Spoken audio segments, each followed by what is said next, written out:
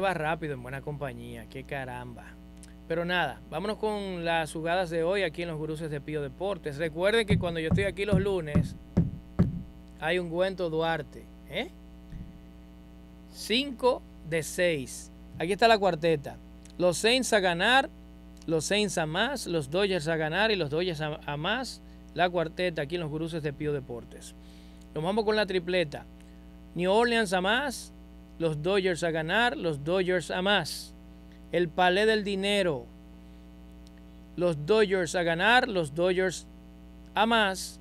Y entonces el directo es los New Orleans Saints a ganar y cubrir su línea de 7 puntos, 7 y medio en ocasiones, en el fútbol de la NFL. Señores, eh, a los fanáticos de LeBron James, que son millones, son millones, incluso en el país son millones, y los fanáticos de Kobe Bryant, tú sabes algo, que los fanáticos de Kobe y LeBron eran rivales, ahora se han unido en los Lakers.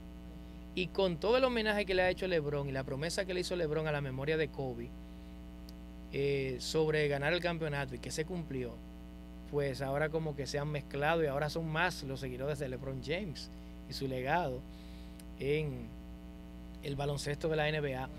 Pero gócense el campeonato del Rey, que hace 15 años, probablemente 11 eh, años sin discusión, el mejor jugador de la NBA.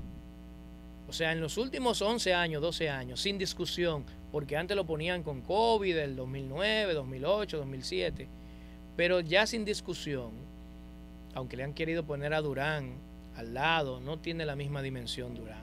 Durán probablemente sea mejor anotador, pero all around y mejor defensa ahora porque ya LeBron está metido en edad y no es lo mismo pero le han puesto a Kerry al lado, que fue un sacrilegio para mí. O sea, ponerle a Kerry al lado a LeBron para compararlo, para mí eso es, bueno, el que me plantea eso yo ni siquiera le hago caso, sinceramente.